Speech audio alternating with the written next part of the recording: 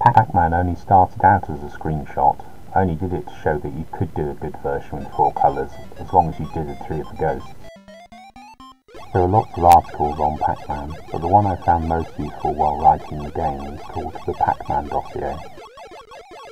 The first thing I, that I noticed when I started playing my version of Pac-Man is that Pac-Man was very, very slow.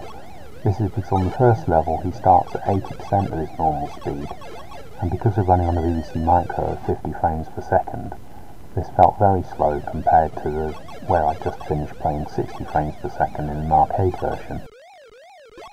There was two ways that I thought of to make Pac-Man not feel so sluggish. First was to shrink the graphics to three-quarter size, which would mean that it would be pretty much the same time to get from one dot to the next at 50 FPS as it would at 60 in the arcade. Uh, so I put a little poll up, and that wasn't a very popular solution.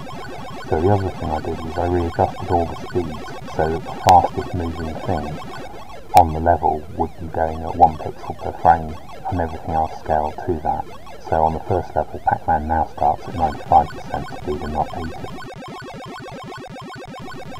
There are a lot of subtleties in Pac-Man that I'd never realised were there, or I'd heard of them but hadn't appreciated them for what they are.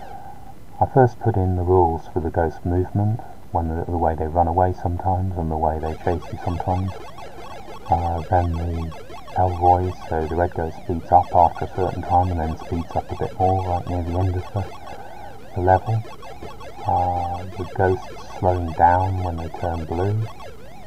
Uh, it all it all really affects the gameplay, uh, but I kept getting killed in the middle of the maze, uh, either just above their little home den pen thing, or a little way below it.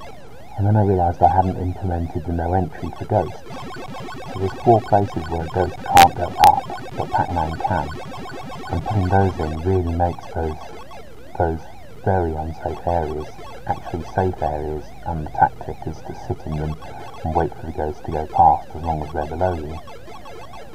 Uh, I guess that's exactly the, the experience that they had when they were making Pac-Man, that those were too dangerous and they did have to make them safer.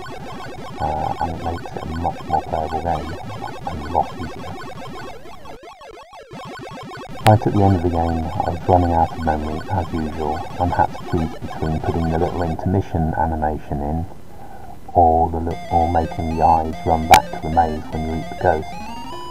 In the end I decided I liked the intermission best because it had extra music. In case you're wondering, Pac-Man frame, the drawing at least, starts right at the bottom of the maze, clears Pac-Man, then it draws the four ghosts with masking so that they can overlap each other nicely. Then it draws Pac-Man, and finally redraws any dots that have been erased by the ghosts or Pac-Man.